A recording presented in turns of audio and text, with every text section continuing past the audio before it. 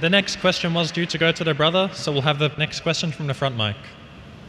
Good evening, Dr. Naik. Uh, this is Sanjay Thakkar here. First of all, with all due respect to all my Muslim brothers and sisters here, before I ask my questions, I would like to ask your kind, make a statement first.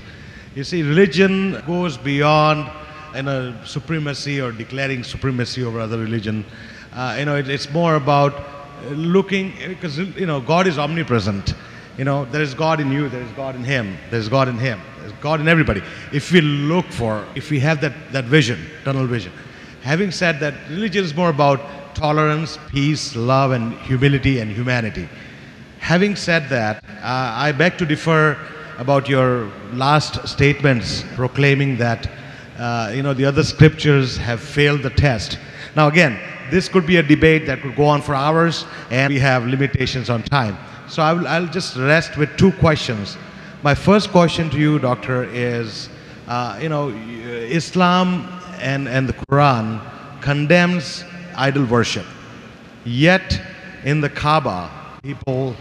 Now, you had mentioned that one of the 20 misconceptions, first 13 that you had covered, I wasn't here at that time, so No I missed it. So that's my first question. My second One question. question at a time, please. No problem. Actually, No question. it's, Go it's, ahead. it's correlated, sort no of. problem. Yes, yes, brother. My second question Feel to free. you is, you know, I'm large-hearted, tolerant. Thank you. Thank you. Very kind of you. Uh, my second question to you is, you know, the concept of um, azan. You know, from what I understand, the concept of azan came many, many decades or centuries back when there was no clock, there were no, uh, you know, way to actually decide what time of the day it is. And, and the only way people would realize that it's this time of the day for this prayer was based on azan. Now, obviously, that's not the case now. You know, we have clocks and we have. So then, why is there azan five times a day, even in this day and age? These are my two questions. Brother asked two questions. Before he asked these two questions, he made some comments. I made a statement, not comments. It was, it was, it was a you know conclusive statement Do you think the statement and comments are contradicting?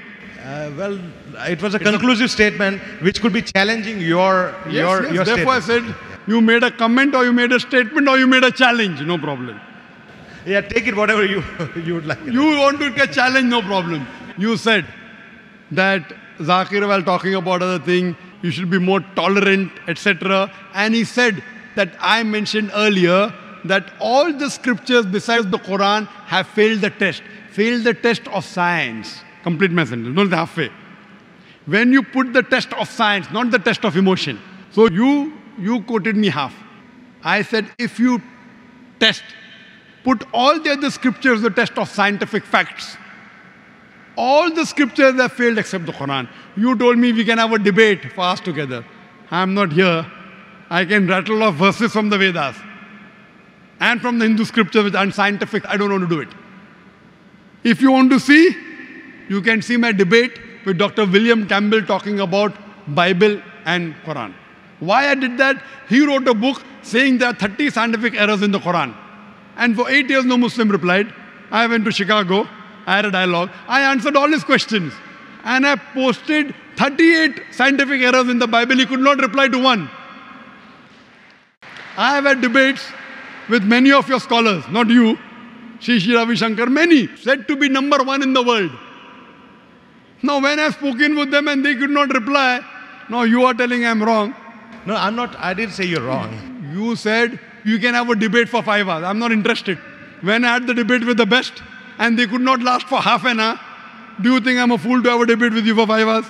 Well, limitation of time. You're you're Yes. prejudging my intelligence. I'm not prejudging. Many people they tell me, Dr. Zakir Naik, we want to debate with you. You're not the only one. Many people. You know what I tell them? If you want to debate with me, you should have a following. If you can get 10,000 people minimum, yeah, there are about 20,000. Someone told me.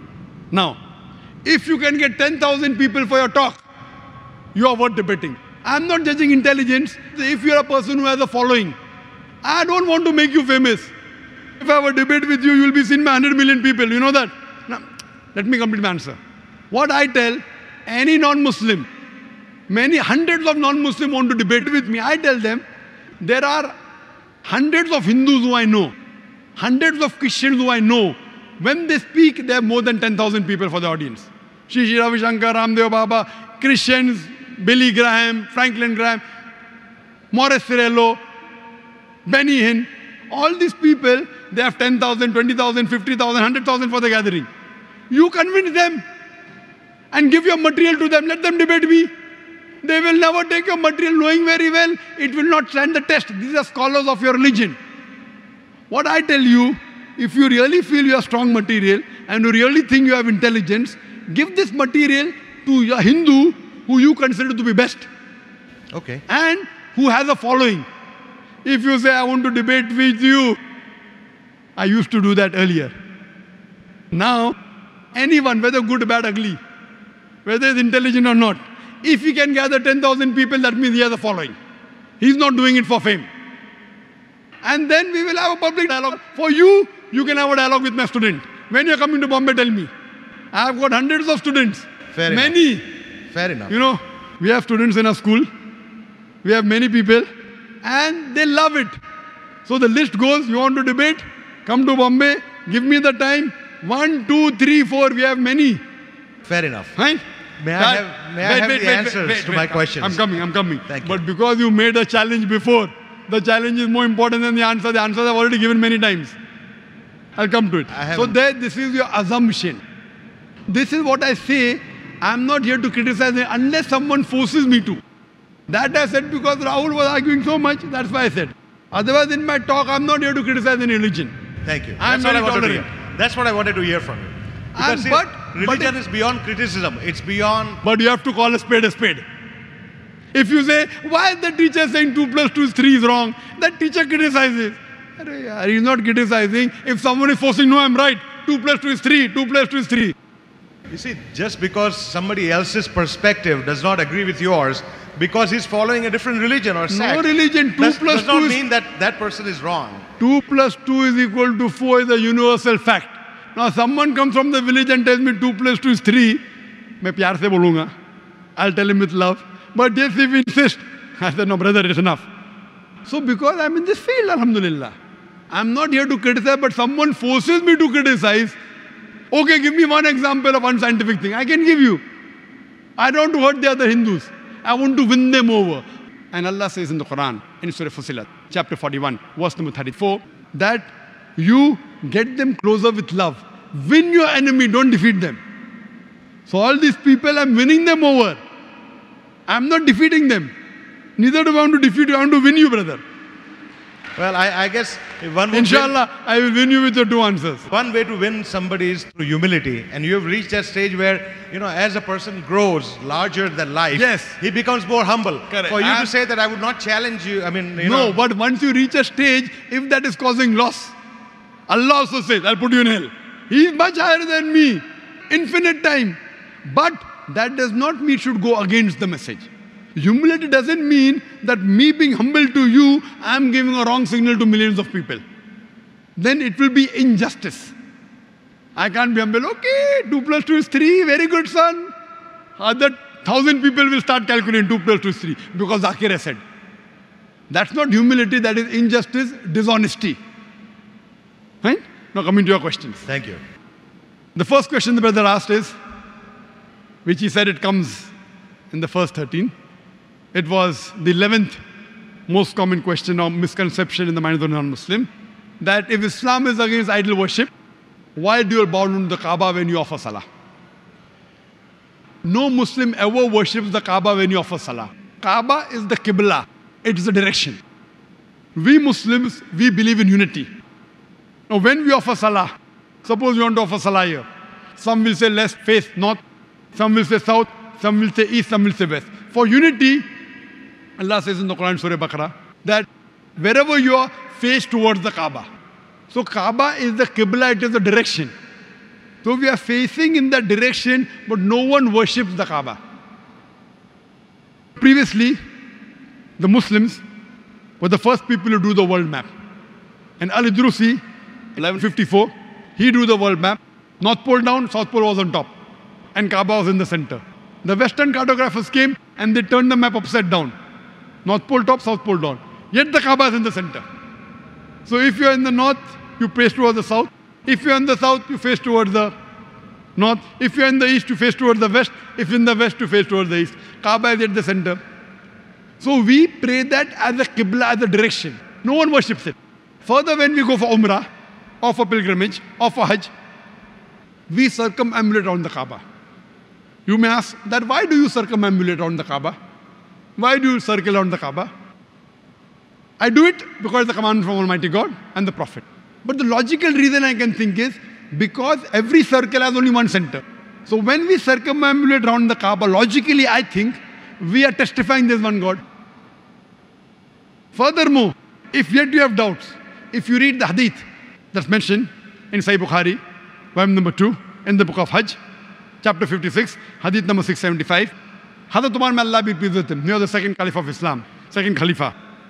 He said that this black stone pointing at the Hajar Aswad, black stone, it can neither benefit me, it can neither harm me. Just because my prophet kissed it, I'm kissing it. This statement that this black stone can neither harm anyone nor benefit anyone is sufficient to prove that the Muslim don't worship the Kaaba. Furthermore, at the time of the Prophet, there were Sahabas, there were companions of the Prophet who stood on the Kaaba and gave the azan. No idol worshipper will ever stand on the idol and give the azan. Proving that no Muslim ever worshipped the Kaaba, it's only the Qibla, it's a direction. Coming to a second question. Hope you're convinced with the first question. Sure I am. Thank you. Very good. 50% I won you over. Now next 50%. Your second question was, decades earlier, centuries earlier, there was no clock, no way to keep time. So we could justify that giving azan was right. Now everything is there, clock is there, time is there. So why do we have to give the azan? Very good question. The reason we give the azan is for many things. One thing is to tell everyone it is time. You tell me one thing. Everyone has the watch during examination. Yet the teacher rings the bell, time is up. So you tell the school teacher, why are you ringing the bell that the period is up? Everyone has a watch. To tell everyone, finish, time is up, next period. So today when we have the azan, you can have a big clock also, a big bell. But a prophet said, bell is not good. Therefore, in Christian you have bell. Some religion you have the drum. The prophet said, no, this is not good. No drum, no bell. Someone suggested human voice. He liked it. So better than the drum, we have called human voice. And our azan has a message. The bell, sometimes the bell in the school has a message, period is up. Sometimes the bell has a message, period is starting. Sometimes the bell has a message, different message. That fire alarm, run away. You understand? No? Bell cannot speak. You read the bell, okay, fire is there, run away. In the azan, it has a message. It says, Allah Akbar, Allah Akbar. Allah is the greatest. God is the greatest, four times. Ashhadu la ilaha illallah. Ashhadu Muhammad Rasulullah. That I bear witness there is no God but Allah. He's calling out. I bear witness there is no God but Allah and Prophet Muhammad is the messenger of Allah. Hayal salah, hayal salah. Come to salah, come to salah. Hayal falah, hayal falah. Come to success, come to success. He's giving you a message. God is the greatest, God is the greatest, God is the greatest, God is the greatest. Four times. There's no God but Allah. Prophet Muhammad is the messenger, giving you a message that your messenger, Prophet Muhammad, you don't have to worship him. He is only a messenger. He is the servant of God. Five times we are reminded in the Azan. Prophet Muhammad is the messenger of Allah. He is not Allah. Come to Salah, come to prayers, come to prayers, come to success, come to success. Allah Akbar, Allah Akbar. Allah is the greatest, Allah is the greatest. So it's a message telling you it is time for prayer. At the same time, testifying there's one God. It is a message. And the beauty of it is that whichever part of the world you go, it's only in Arabic. So if you if you have in French, if you go to France, you don't understand French. You say, what is the person shouting? Is he abusing me? so throughout the world you have in Arabic. Even if I don't know Arabic, at least I know the translation of the Azan. So it is a reminder. In the morning salah, another reminder. It says, As-salatu khairum min Prayer is better than sleep. As-salatu khairum min nom Prayer, now when you hear, ah, prayer is better than sleep, so you get up. With the ghanta, I put the snooze on. You know snooze? Another 10 minutes. Another snooze, 10 minutes. Here, as-salatu khairum min nom Only for the morning's azan. Prayer is better than sleep. So here it's a message. even though you have watched, you don't keep on watching. So now, because we pray in congregation, our beloved Prophet Muhammad said, there are no less than three hadith in Sahih Bukhari, which says that you get 25 times, 27 times more sawab when you pray in congregation. So the azan is reminding you that the congregation is going to start. So you know once the azan is given, within 20 minutes, the congregation will start. So you get ready, you do your wudu, you do your ablution, and you go to the mosque. If it is not there, and many people don't know what is the time, it keeps on changing. I will not know what's the time for sunset today. Do you know, brother? Do you know the time for morning sunrise in Dubai? It, it changes every day. So what is it now you know? Not off, off. Most of the people here will have rough idea. So, though you are a scientific person, you have a watch. If the adhan is there, ah, now it is time, I'll go for prayer. So even in the age of science and technology, it's a reminder. And besides the reminder, it's giving you a message. It's calling you towards the truth, it's calling you towards success. So that's the reason even 100 years, 1000 years back it was correct. Even today it is correct. And even tomorrow it will be correct. Hope this convinces you. Thank you kindly. So at least in this question, I won you over. Yes, you have. Thank you. Inshallah. And I pray to God to guide you and to guide me also. Thank you. So, how does it boil down to like smoking?